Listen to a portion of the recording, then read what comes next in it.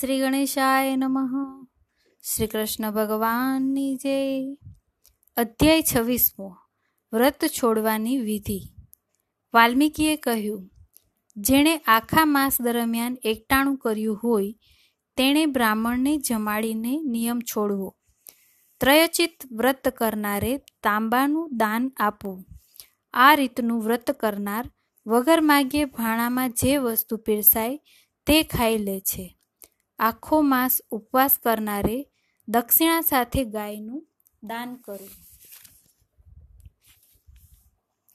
આમળાના ઝાડ નીચે સ્નાન કરનારે દહીં દૂધનું દાન કરવું જે ફળનો ત્યાગ કર્યો હોય તે ફળ દાનમાં આપવું અનાજનો ત્યાગ કરનારે ઘઉં અને ચોખા આપવા અને જમીન પર સૂઈ જનારે ચાદર અને ઓશિકા સાથે ગાદલું આપવું ઝાડના પાંદડા ખાઈને રહેનારે બ્રાહ્મણને ઘી સાકરવાળા ભોજન કરાવવા. મૌન ધારણ કરનારે ઘંટી અને તલનું દાન આપવું. હે રાજન, જેણે નખ અને વાળ વધાર્યા હોય તેણે દર્પણ આપવું. જોડા ન પહેરનારે જોડાનું દાન કરવું. મીઠાનો ત્યાગ કરનારે સાકર આપવી. તાંબાના વાસણમાં પિત્તળની દીવી મૂકીને આપવું. અને ચાળીસ માસા સોનું આપવું. એક જાતનું ભોજન કરનારે આઠ કળશ, એટલે કે લોટા કે ઘડાનું દાન આપવું જે એક જ જાતનું ભોજન કરે છે, તેને મોક્ષ મળે છે. એક જ વખત ભોજન કરનાર રાજા બને છે. સાયંકાળે ભોજન કરનાર બધા પાપોનો નાશ થાય છે. આ માસમાં અડદનો ત્યાગ કરનાર નિષ્પાપ બનીને વૈકુંઠ લોકમાં જાય છે. આ માસમાં બ્રાહ્મણે પોતાને ત્યાં ઘણી ઘાણી પીલાવવી નહીં. તેમ કરનાર ચંડાળમાં પડે છે અને રોગોથી પીડાય છે.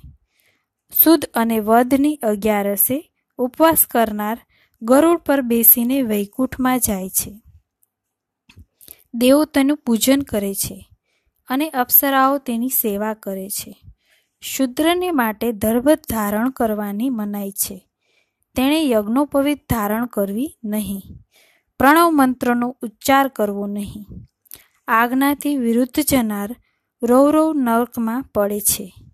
પછી તે મરઘો કે ભૂંડ કે વાંદરો થઈને જન્મે છે. શુદ્રે માન બ્રાહ્મણને કેવળ નમસ્કાર કરવા. આમ કરવાથી તેના બધા પાપો દૂર થાય છે અને તેને તેનું ફળ મળે છે. હે ભૂપતે બ્રાહ્મણના વચન પ્રમાણે વર્તનાર જ શ્રીહરિના ચરણ કમળમાં જઈ શકે છે. આ નિયમો પ્રમાણે વ્રત કરનાર પરમપદને પામે છે. વાલ્મીકી મુનિના આ વચનો સાંભળીને રાજાએ તેમની ભક્તિભાવથી પૂજા કરી.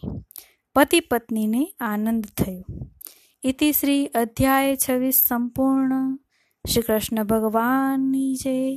દ્વારિકાધીશની જય.